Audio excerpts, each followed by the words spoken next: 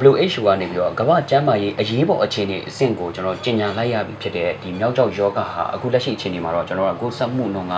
အဲမြန်တဲ့မြန်လာပြီးတော့မှအခုလက်ရှိဆိုရင်တော့ကျွန်တော်ကိုယ်ဆက်ခံရသူပေါင်းကအဲဒီ 15000အထက်မှာရှိပြီးတော့မှဒီယောဂကြောင့်တည်ဆုံးသူကတော့ကျွန်တော်900ကျော်အထိရှိလာပြီပေါ့နော်အဲ့တော့ဒီယောဂရဲ့လက်ရှိအဲကူးစက်မှုအခြေအနေတွေပြီးတော့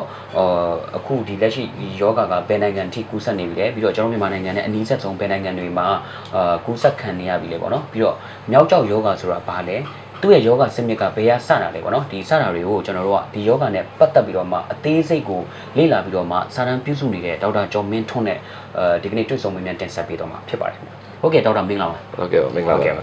ဆိုတော့ပထမဆုံးသိချင်တာဒေါက်တာကျွန်တော်ဒီ unport လို့ခေါ်တဲ့ဒီမြောက်ကျောက်ယောဂပေါ့နော်ဆရာဒီဟာနဲ့ပတ်သက်ပြီးတော့မှဘယ်နိုင်ငံကနေပြီးတော့ဘယ်လိုပုံစံနဲ့စဖြစ်ခဲ့တာလဲဆိုတဲ့ဟာလေးကိုအရင်သိပြစေဗျာဟုတ် အခုကကျွန်တော်ဒီမြောက်ကျောက်ယောဂဆိုတော့ဒီအော့ဂုတ်လာအစာပေါ့နော်အဲ့မှာစပြီးတော့တတိထားလာကြပါပေါ့နော်ဘယ်အနေစဖြစ်လဲဆိုတော့ကျွန်တော်ဒီကွန်ဂိုသမ္မတနိုင်ငံပေါ့နော်ဟိုသမ္မတနိုင်ငံကနေကျွန်တော်ဒီအာဖရိကနိုင်ငံကနေစပြီးတော့တွေ့ရှိတယ်တွေ့ရှိပြီးတော့အဲ့ကနေစတင်ပြန်ပွားပြီးတော့ဒီအာဖရိကနိုင်ငံတော်တော်များများပေါ့နော်အဲ့ကနေအာဖရိကနိုင်ငံအာဖရိကတိုက်အရှေ့ချမ်းအလဲချမ်းပေါ့နော်အဲ့ကနေပြန်နေပြီးတော့တဖြည်းဖြည်းဒီအရှေ့ပိုင်းအာဖရိကအရှေ့ပိုင်းဒေသနဲ့အလဲပိုင်းဒေသမှာတော်တော်များများကူးစက်ပြန်နေပြီးတော့အဲဒီနောက်ပိုင်းဟိုအခုဆိုရင်ကျွန်တော်ဒီဥရောပနိုင်ငံဒီအောင်ခြေဆန့်ပြီးတော့နိုင်ငံ60နဲ့90ကျော်ပေါ့နော်အထီလောက်ဒီ virus ကပြန့်နေလာတဲ့အနေအထားမျိုးတွေ့တွေ့ရှိလာပါတယ်ဟုတ်ဟုတ်ကဲ့ပါဒေါက်တာဆိုတော့ဘယ်ကစဖြစ်တာလဲဒေါက်တာဘယ်လိုပုံစံနဲ့စဖြစ်တာလဲဗျာအဲ virus ကဒီကောင်ကဒီ virus ကကြောင့်ကျွန်တော်တို့ကဒီ တရိษံနေပေါ့နော်အဓိကဒီကူးဆက်တာပေါ့နော်တရိษံနေစပြီးတော့ကျွန်တော်တရိษံနေဒီဒီကျွန်တော်လူသားပေါ့နော်တရိษံလူသားကူးဆက်တယ်ပြီးရင်လူသားကနေလူသားချင်းချင်းမြန်ကူးဆက်တယ်ပေါ့နော်အဓိကဇိမြစ်ကကြောင့်အဓိကဒီတရိษံနေဒီကလာတာပေါ့နော်တရိษံနေလာတယ်လာပြီးကနေစင်ဒီ transmit ပေါ့နော်ဒီဒီကူးဆက်ပူကကြတော့ကျွန်တော်ဒီအရေးပြားပေါ့နော်ဒီက contact ပေါ့နော် contact ကနေတိုက်ရိုက်ကူတယ်ပြီးတော့နောက်ပိုင်းကျတော့ကျွန်တော်တို့ဒီယောဂလက္ခဏာဒီရှိရဲ့ဒီတရိษံမှာဖြစ်ဖြစ်လူပဲဖြစ်ဖြစ်ပေါ့နော်အထီးတွေကနေ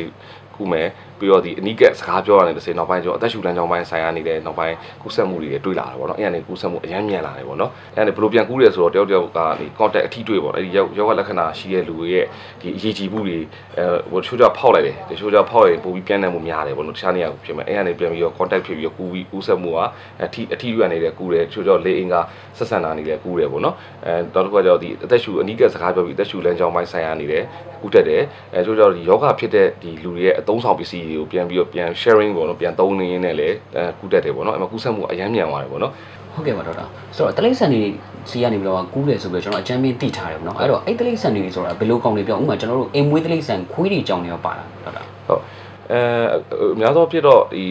သိဆန်ပေါ့နော်အိမ်ဝင်းသိဆန်နဲ့ပါနိုင်တယ်ပေါ့နော်ပါနိုင်တယ်ဆိုအဓိကဒီအိမ်ဝင်းသိဆန်ကတော့ဒီ virus ကဒီအဓိကဒီ တိရစ္ဆာန်တွေဒီကဆင်းသက်လာပေါ့နော်ဒီအဓိကအနာပေါ့တော့ဒဏ်ရာရတဲ့ဒီအနာတွေခန္ဓာကိုယ်မှာဒီတိရစ္ဆာန်တွေမှာဒီရေပြားမှာအနာတွေပေါ့နော်ချို့ဒီတရိษံတွေဆိုရင်ဒီအရေးပြားမှာအနာအကြီးအရေးကြီးဖူးတွေပုံစံမျိုးပေါ့နော်အဲ့ဒီကနေဒီကူးဆက်နိုင်တယ်ပေါ့နော်နည်းနည်းတတိထားပါတော့တရိအိမ်မွေးတရိษံကိုလည်းနည်းနည်းယူဆိုင်ရမှာပေါ့နော်ဟုတ်ကဲ့ပါဒေါက်တာဆိုတော့အကယ်၍ပေါ့ကျွန်တော်တို့ကကူးစက်ခံရပြီဆိုရင်အဲ့ဒီလူနာကအာယောဂလက္ခဏာဘယ်ဘယ်နည်းနေ့လောက်မှစပြီးတော့စပြလဲဘယ်လောက်ထိကြာလဲဒေါက်တာဟုတ်ကဲ့ဟုတ်ယောဂလက္ခဏာဟိုစပြီးဟို ဟိုပေါ့နော်ဒီခန္ဓာကိုယ်ကူးဆက်တိုင်းမှာဆိုရင်တယောက်နဲ့တော့နဲ့မတူဘူးပေါ့နော်ဒီကိုယ်ကန်ဆွမ်းကောင်းတဲ့ပုံမူတည်ပြီးတော့ပေါ့နော် virus ကဒီယောဂလက္ခဏာပြတယ်ပေါ့နော်ချို့ကျတော့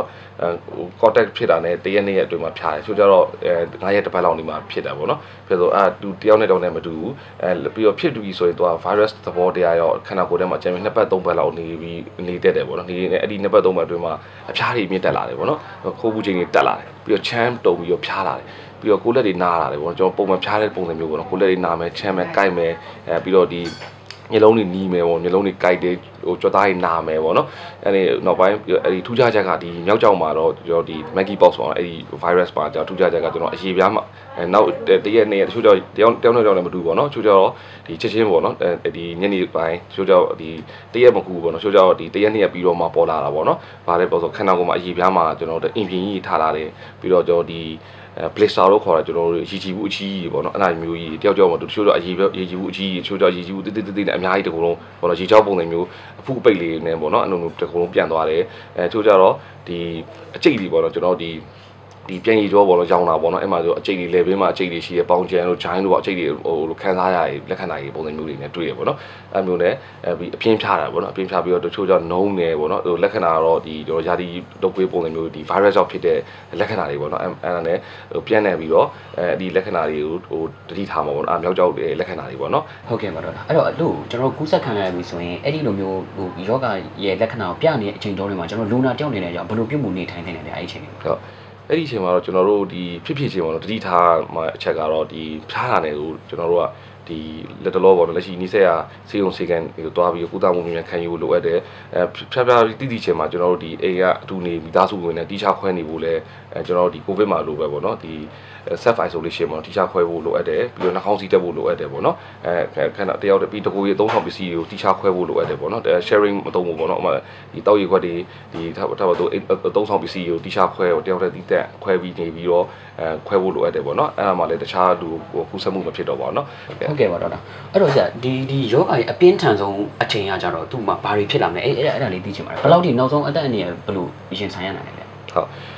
အဲဒီယောဂကကျွန်တော်တို့ဒီအသက်အရွယ်ပိုင်းခြားနဲ့ပြောမှဆိုကျွန်တော်တို့ဒီကလေးပေါ့နော်ကလေးမှာပြားတော့ပြအဖြစ်လေးများတာပေါ့နော်ပြီးတော့ဒီကျွန်တော်ကိုယ်ဝန်ဆောင်မိခင်တွေကိုခံစွမ်းနေတဲ့လူတွေယောဂခံရှိတဲ့လူတွေမှာဖြစ်များတယ်အဲအဲ့ဒီလူတွေပေါ့နော်လူတွေတော့ဒီအထူးတစ်ဖြစ်နည်းနည်းပိုပြီးကြီးဆိုင်မှာပေါ့နော်ဖြစ်တယ်ဆိုရင်ကျွန်တော်တို့ဒီအသက်အန္တရာယ်ဒီ ဟိုတေးစေလောက်တဲ့အထီကိုသူကရှိတယ်ပေါ့နော်လက်ရှိတော့ဒီကုဆက်မှုဥယျာဉ်ဒီနေ့အထီကိုဆိုရင်15000ပတ်ချလဲမှာကျွန်တော်တို့ဒီ900ကျော်လောက်ဒီတဆုံးတဲ့ဒီဟိုလူဥယျာဉ်တွေ့လာတယ်ပေါ့နော်နည်းနည်းတော့တတိထားမယ်တရားမှာကျွန်တော်၄အောင်တုန်းကတော့ဒီတဆုံးတဲ့ပုံစံမျိုး chance တွေတော့ဒီတွေ့ရတာပေါ့နော်အဲဘယ်လောက်ထိပြင်းထန်တယ်ဆိုတော့ virus ဆိုတော့ဒီခန္ဓာကိုယ်မှာသူကရောင်ရမ်းမှုကိုဖြစ်စေတယ်ပေါ့နော်သူကအကုန်လုံးလိုက်ရောင်တယ်ဆိုတော့အုံနောက်ဟိုဆိုရင်အုံတော့အမိပါရောင်တာတို့ဒီအဆုပ်ရောင်တာတို့ဒီခန္ဓာကိုယ်မှာဒီရောင်ရမ်းမှုအသက်ရှူလမ်းကြောင်းပိုင်းဆိုင်ရာ ဒီရောင်တာပေါ့နော်ရောင်တာတို့ဒီအစာရောင်တာတို့အဆုပ်ပေါ်အသက်ရောင်တာပေါ့ရောင်ရမ်းမှုတော့ဖြစ်စီတော့အဲဒီပျော်ကပြင်းထန်မှုအနေနဲ့ကြတော့ဒီ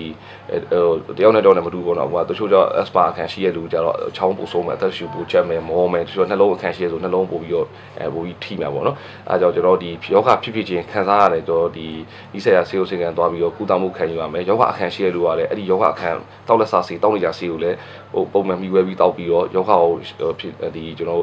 ဒီအခန်းရှိတဲ့ယောဂကိုလည်းတခြားလေးအဲ့ဒီဖြစ်တဲ့အချိန်မှာ control လုပ်နိုင်ဖို့လည်းအရေးကြီးတာပေါ့နော်အဓိကဒီအဲဖြစ်ဖြစ်ချင်းမှာကုသမှုအမြဲဆုံးခံယူဖို့လိုအပ်ပါတယ်ဟုတ်ဟုတ်ကဲ့ပါတော့အဲ့တော့ဟိုဟိုကူးစက်ခံရတဲ့လူနာတယောက်အနေနဲ့သူ့မှာယောဂခံနေရှိနေမယ်ဆိုရင်ဒီ virus နဲ့ကျတော့ဘယ်လိုဘယ်လောက်ထိခံရမလဲဥပမာဘယ်လိုယောဂခံနေရပို့ပြီးတော့ဟိုအနည်းပုံများလဲဗျဒီယောဂကူးစက်ခံရတဲ့အခါမှာဟုတ်အဓိကတော့ယောဂအခန်းရှိရလို့ကျွန်တော်ဒီကကိုခံဆွမ်းအားကြားတဲ့ဟိုပါပေါ့နော်ဒီကျွန်တော် ဒီလူနာတွေတတိထားမှာပေါ့နော်လူတွေ TB လူနာတွေ HIV လူနာတွေအဲဒီကင်ဆာလူနာတွေပေါ့နော်အဲ့ဒီလူနာတွေကျတော့နည်းနည်းပိုပြီးကြီးဆိုင်ဖို့လိုအပ်တယ်ယောဂကိုသူကဒီဝင်လာနဲ့အဲဒီထားပါတော့ဒီကျွန်တော်မြောက်ကျောက်ပေါ့နော် Maggie Box ဝင်လာနဲ့အဲ့ဒီယောဂအခန်းရှိရလို့ကကြောင့်ကိုခံဆွမ်းတက်ဖို့ကနည်းနည်း immune ပြန်တက်ဖို့ကနည်းနည်းအချိန်ဟိုကြာတာပေါ့နော်ပြီး immune တက်ဖို့ကလည်းပုံမှန်ကျွန်တော်ဒီပုံမှန်လူထက်ပိုပြီးတော့ အဲအချိန်စောက်ရတာပေါ့နော်ဟိုတက်ချင်မှလည်းတက်မှာပေါ့အဲ့လိုအနေအထားမျိုးမှာ virus ကပိုပြီးခံစားပြီးတော့အဲ့ဒီလူတွေမှာပိုပြီးတော့အသက်အန္တရာယ်ပိုပြီးတော့ရှိရနိုင်တာပေါ့နော်ပြီးတော့ဒီ ဒီစီဂျိုတွေးတိုးနှလုံးပေါ့နော်အဲ့ဒီကြောက်ကအဲ့ဒီလူနာတွေကလည်းဒီတောက်လက်စာစီယောဂအခန်းဒီဟိုလည်းတခြားလေးထိမ့်သိမ့်နိုင်ဖို့ရေးကြည့်တာပေါ့နော် virus စာတကယ်ဝင်နေဆိုရင်အဲ့ဒီဒီခံစားရတဲ့ဒီစီဂျိုတွေးတိုးကြောက်ကပေါ့နော်ဒီအသေးပေါ့နော်အဲ့လိုလူနာတွေကလည်းပိုပြီးကြီးဆိုင်ဖို့လိုအပ်တာပေါ့နော်ဟုတ်ကဲ့ပါဟုတ်ကဲ့ပါတော့ဆောင်းတာဒေါက်တာဖြေးတဲ့နေရာမှာပါတယ်ပေါ့နော်ကလေးတွေမှာအဖြစ်များတယ်ဆိုတော့အာသူတို့ကလေးတွေမှာအကယ်ကူးစက်ခံလိုက်ရင်သူတို့ကြတော့ဒီထိန်းသိမ်းပြုဖို့အပိုင်းတွေကြတော့ဘာတွေလုပ်ပြီးဖို့လုပ်လဲဟုတ်အဓိကကလေးကြတော့သူကဒီဟိုစော်ကစားတဲ့အရွယ်ပေါ့နော်အတူတူပဲလေအဲ့ဒီအရွယ်တွေကကြတော့ တယောက်တယောက်ကပူးကပ်ပြီးကစားကြတယ်အကြီးပြဟို contact ပေါ့နော်အဲ့လိုမျိုးဖြစ်ဖြစ်ချင်းယောဂလက္ခဏာတိတိချင်းပါဆိုရင်ကလေးကိုအမြဲဆုံးကျွန်တော်တို့က separate ပေါ့နော်တခြားတခြားအိမ်မှာကလေးရှိမှဆိုတခြားကလေးနဲ့တခြားဟိုရောရှက်ပြီးမထားဘူးဟိုတိတန့်ခွဲထားဖို့ပေါ့နော်ပြီးတော့ဒီအကြီးပြဟိုအနာတွေပါတခုဟိုဖြစ်တယ်ပြုတယ်ပေါ်လာတယ်ဆိုရင်ကျွန်တော်နီးစက်ရကျပိုက်ထားတာတွားပြီးတော့အမြဲဆုံးကုသဖို့ခံယူမယ်ပေါ့နော်ကလေးကြောင့်နောက်ပြီးအဖြစ်များဟိုဝဲယောဂါတွေကလည်းမျိုးရင်းဆိုတော့တွေ့တယ်ပေါ့နော်မျိုးဝဲတို့အဲသူကလေးကြောင့်ပွေးတို့ညှင်းတို့ပေါ့အဆုံးပေါ့နော်အေးရေပြားယောဂါတွေရှိတော့နည်းနည်းအဲဒီရပိုင်းတွေတခြားလေးခွဲခြားပြီးတော့ဟိုဟိုလိုအပ်တာပေါ့နော်အဓိကတိချာခွဲပြီးတော့ချာကလေးနဲ့ရောရှက်ပြီးပထားဖို့အသက်ကြီးပိုင်းတွေရှိတယ်လူလူကြီးပိုင်းတွေရှိတယ်ဆိုတော့အဲ့ဒီလူကြီးပိုင်းတွေနဲ့အတူဟိုရောရှက်ပြီးပထားဖို့ပေါ့နော်လူတွေခွဲပြီးတော့ကုသပြီးတော့ကုသပြီးဖို့အပြင်ဆုံးလိုအပ်တာပေါ့နော်ဒီကြောင့်နဲ့ဒီမြောက်ကြောင့်နဲ့လက္ခဏာဖျားတယ်ဒီအရေးကြီးမှုတွေထွက်တယ် ဒီလက္ခဏာချင်းရဲ့ပုံစံကလည်းတူတယ်တူတော့နည်းနည်းရေကြောပေါက်တယ်ဆိုတော့ကျွန်တော်ဒီဘာပဲဖြစ်ဖြစ်ခွဲလို့မရဘူးအနေထားမျိုးပါဆိုရင်နီးစက်ရဆေးရုံဆေးကန်လာပြီးတော့ဆရာဝန်ညွှန်ကြားချက်အတိုင်းဆေးကုသဖို့ခံယူပြီးတော့အဲတိချာခွဲနေဖို့ပေါ့နော်ကျွန်တော်ပုံစံကခွဲလို့မရဘူးလေအဲ့ဒါမှဒီထက်ပိုဆိုးလာတယ်ဆိုရင်တော့ဟိုဒီကျွန်တော်တခွဲနမူနာယူတဲ့ကိစ္စတွေပဲဆက်ပြီးတော့ဒီကျန်းမာရေးဌာနနဲ့ချိတ်ဆက်ပြီးတော့အဲဆောင်ရွက်တင်တာပေါ့နော်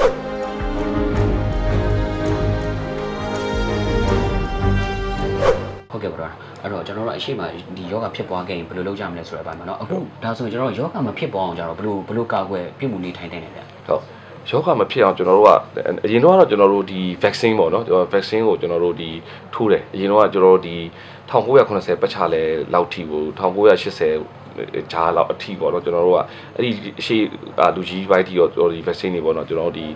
ဒီဟောပေါ့နော် pulse vaccine ပေါ့နော်အဲကြောက် ကိုကောက်ွယ်စီးပေါ့နော်အဲ့ဒါထိုးတယ်အဲ့ဒါထိုးမယ်ဆိုအဲ့ vaccine က effective ဖြစ်တယ်ဟို vaccine ထိုးတဲ့လူကတော့ဖြစ်နိုင်ခြင်းမရှိဟိုနည်းတာပေါ့နော်နည်းတယ်အဲအခုနောက်ပိုင်းနေကြတော့ဒီ WHO က1980နောက်ပိုင်းမှာကျတော့သူကတော့ဒီဟိုပါပေါ့နော်ပျောက်ကင်းယောဂကြောက်ယောဂမရှိတော့ဘူးဟိုပျောက်ကင်းနေဆိုပြီးတော့ announce လုပ်တဲ့နောက်ပိုင်းမှာကျွန်တော်မထိုးတော့ဘူးနော် vaccine မထိုးတော့တဲ့နောက်ပိုင်းမှာဒီကျွန်တော်တက္ကသိုလ်2000နောက်ပိုင်းမှာဒါဆိုဒါအခုဆိုဒုတိယတစ်ချိန်ပြန်တွေ့တာပေါ့နော်ကျွန်တော်2020မှာတစ်ချိန်ပြန်တွေ့တယ်အဲ class 2မျိုးစာအခု2024ကျွန်တော်အောက်ကိုအစားမှာဒါဒုတိယတစ်ချိန်ပြန်တွေ့ဒါ class 1အမျိုးစာပေါ့နော်အဲ့မှာဆိုရင်ကျွန်တော်တို့အမှ vaccine ပေါ့နော်ဒီကကျွန်တော်ဟို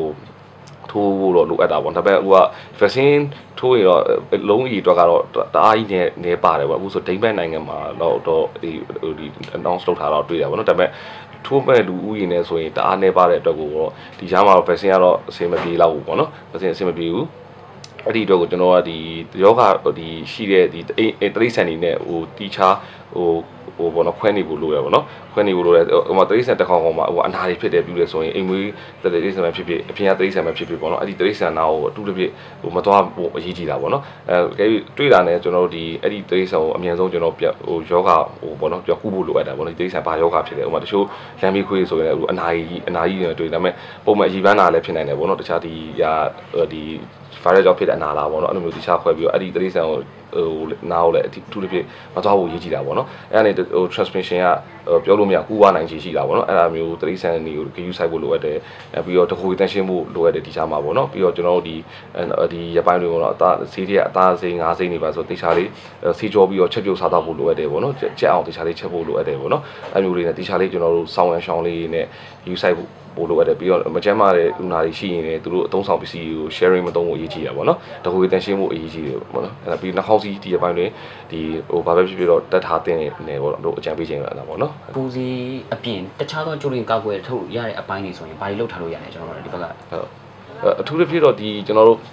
virus မဝင်အောင်ပါတော့ကျွန်တော်ဒီကိုကန်ဆွမ်းကျွန်တော်တို့ကောင်းအောင်ဒီကျွန်တော်လှုပ်ထားဖို့လိုအပ်တယ်ပေါ့နော်အဓိကတော့ virus ပဲဆိုတော့လေ virus ဆိုကျွန်တော်ဒီ ရေမြများတောက်ဖို့လိုအပ်တယ်တရက်ကိုပေါ့နော်ရေ1လီတာနဲ့3လုံးပေါ့နော်1လီတာ3 3လီတာလောက်တော့တရက်ကိုရေမြများတောက်ဒီရပိုင်းလေးပေါ့နော်ကိုကန်ဆွမ်းကောင်းအေးဟိုအေးဝအောင်အေးရတယ်အစားမြများစားရတယ်ပေါ့နော်အားရှိမဲ့ကိုကန်ဆွမ်းကောင်းမဲ့ဒီအရွက်အသီးနဲ့မြများစားရတယ်အဓိကဒီတကူတန်ရှင်းမှုလည်းအရေးကြီးတာပေါ့နော်ပြီးတော့ဒီအဓိကဒီ fitness ပေါ့ခန္ဓာကိုယ်ဒီ body fitness ပေါ့နော်ဒီကျန်းမာတန်ဆွမ်းမှုအဲ့ဒီပုံစံအဲ့ဟာအရေးကြီးဆုံးပဲအဲ့ဒါဆိုရင်ကျွန်တော်တို့ virus ဝင်နိုင်ဖို့ chance ကနည်းတာပေါ့နော်ဆိုဟုတ်ကဲ့ဟုတ်ကဲ့ပါတော့ဒါအဲ့မှာကျွန်တော်တို့ဟိုတိတိဟိုတိတိလိုနေတဲ့မေကွန်တစ်ခုရှိပါတယ်အဲ့ဒီရေချောင်းနဲ့မြောက်ချောင်းနဲ့ဟိုဘယ်လိုခွဲခြားရလဲဆိုတဲ့အပိုင်းပါခင်ဗျဟုတ်ဘယ်လိုခွဲရလဲဗျဟုတ်ရေချောင်းနဲ့မြောက်ကျော်ယောဂလက္ခဏာကတော့ပုံစံတူတယ်ပုံစံလေတူတော့ကျွန်တော်တို့ဒီကုဆက်မှုကိုပဲပြန်ကြည့်ရမှာပေါ့လေရေချောင်းကကျွန်တော်တို့ကဒီအဲလက္ခဏာတွေကတူတယ်ဒါပေမဲ့ရေချောင်းကကျွန်တော်တို့ဒီ အဲလူတယောက်မှာတော့ဟိုများသောပြတော့တစ်ခါလောက်ပဲအဖြစ်များတာပေါ့နော်အဲ့မှာသူတို့ဟို history မိလိုက်တာတည်းအရင်တော့ရေချောင်းဖြစ်ဘူးလား အဲရေချောင်းအရင်တော့ဖြစ်ဘူးတယ်ဒါအခုတစ်ခေါက်ထပ်ဖြစ်တယ်ဆိုရင်တော့ရေချောင်းကိုထပ်ပြီးဒီ history အရတော့ခွဲလို့ရတာပေါ့နော်နောက်တစ်ခါကျတော့ကျွန်တော်တို့ဒီ lab test ပေါ့နော်ကျွန်တော်တို့ဒီတခွဲကန်းပို့ပြီးနမူနာပေါ့နော်ကျွန်တော်ဒီဥမာဒီရေချီမှုတွေကျွန်တော်ရှိတယ်ဆိုတော့အဲ့ဒီကနေကျွန်တော်အသားစားနမူနာယူပြီးတော့ကျွန်တော် PCR ပို့စစ်တာတွေပါရှိတယ်အဲကျွန်တော်တခွဲပို့စစ်ပြီးတော့လည်းအဲကျွန်တော်ခွဲလို့ရတာပေါ့နော်ဟိုပြီးတော့ရေချောင်းနဲ့ဒီမြောက်ချောင်းနဲ့လက္ခဏာဖျားတယ်ဒီအရေးကြီးမှုတွေထွက်တယ်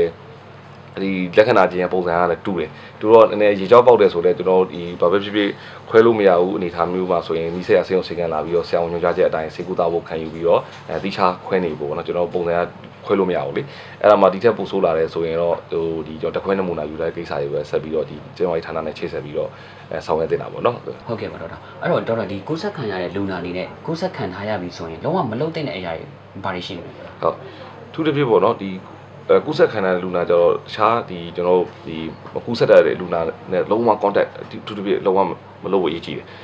အရေးကြီးတယ်ဘာလို့အဲ့ဒီလောက်တာနဲ့တော့ဟိုဘက်ကဒီပုံမှန်လူကလူသားကူတာကူကူနိုင်တာပေါ့နော်ကူနိုင်တယ်အဲ့ဒီအတွက်ကထူးထူးပြလုံးဝ set file solution လို့နံပါတ်1အရေးကြီးတယ်နှာခေါင်းစည်းတက်ဖို့အရေးကြီးတာပေါ့နော်ပြီး public area ကိုလုံးဝမသွားဖို့အရေးကြီးတယ် public area သွားရင်တော့ဒီအရန် transmission rate ကအရန်မြန်မြန်ဆန်တာပေါ့နော်အဓိကအသက်ရှူလမ်းကြောင်းလည်းပါတယ် contact ကလည်းပါတော့အဲ့မှာတော့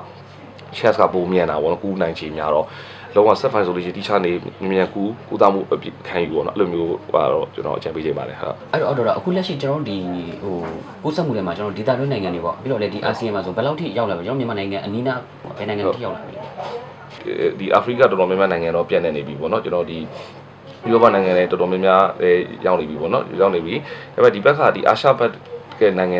ဒီကတော့တေချာတော့ဒီဒီတော့မသိဘူးပေါ့နော်ဒါပေမဲ့ဒီဟိုမြန်မာပြည်တော့လောလောဆယ်အထိတော့ report ရတော့မရှိသေးဘူးမြန်မာပြည်တော့မဝင်သေးဘူး WHO ကတော့ announce လုပ်ထားပါတော့ဒီယောဂါတွေ notified disease ပေါ့နော်ဒီတေချာလေးကြည့်ပြီးတော့စောင့်ကြည့်ရမယ်ယောဂါအနေနဲ့ဖြစ်နေပြီဆိုတော့လေအဲမျိုးအကုန်လုံးကတော့စောင့်ကြည့်စေ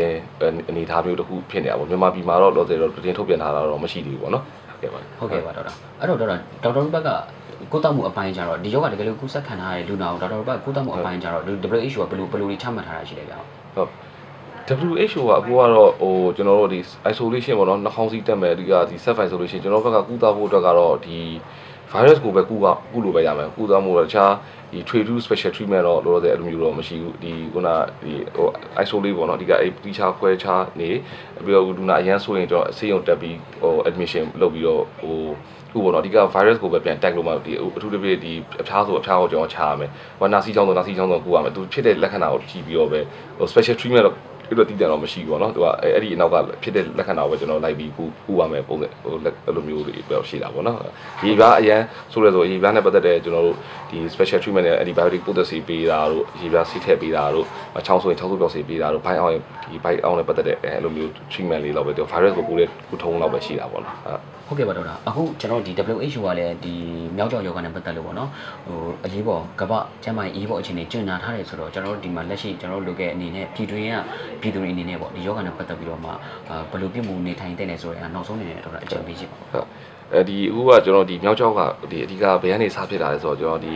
တရိษံကနေပေါ့နော်ကျွန်တော်ကနေလူကိုကူးဆက်တယ်လူကနေလူလူချင်းပြန်ကူးဆက်တယ်ပေါ့နော်ကျွန်တော်အဲ့ဒီရဲ့ chain ကိုကျွန်တော်တို့ကတေချာလေးဖြတ်နိုင်တော့ဒီကကျွန်တော်ကူးဆက်မှုကိုကျွန်တော်ထိန်းနိုင်တယ်ပေါ့နော်အဲ့မှာကျွန်တော်တရိษံနေလူကူးနိုင်မဲ့ဥစ္စာပြန်ကြည့်မယ်ဆိုရင်ကျွန်တော်အိမ်ငွေးတရိษံပဲဖြစ်ဖြစ်အဲဒီအပြင်ကပဲဖြစ်ဖြစ်တရိษံပဲဖြစ်ဖြစ်အမအနာဖြစ်တဲ့ဒီခန္ဓာကိုယ်မှာအနာပဲဖြစ်ဖြစ်မကြမ်းမာတာဖြစ်ဖြစ်အဲ့လိုတရိษံကိုဒီဂျပန်တွင်ဒီအဲ contact ပေါ့နော်မထိတွေ့အောင် အထူးသဖြင့် queue site ဖို့လိုအပ်တာပေါ့နော်ပြီးတော့အဲထိတွေ့မယ်ဆိုတော့မှကျွန်တော်တေချာလေးဟိုလက်ကိုအကာအကွယ်လေးနဲ့ကင်ပြီးတော့တရိษံကိုကင်ကင်တွယ်ဖို့လိုအပ်တာပေါ့နော်ပြီးတော့ကင်ပြီးရတဲ့တေချာလက်ကိုဆက်ပြနေနေတဲ့ဈေးကြောဖို့လိုအပ်တာပေါ့နော်နောက်တစ်ခါကျတော့ဒီတရိษံတွေလူကူးတဲ့အဆင့်ပေါ့နော်အဲ့ဒါလေးကိုတေချာထိနိုင်ထိနိုင်ရမယ်နောက်တစ်ခါလူလူချင်းပြန်ကူတာပေါ့ယောဂဖြစ်တဲ့ဒီလူ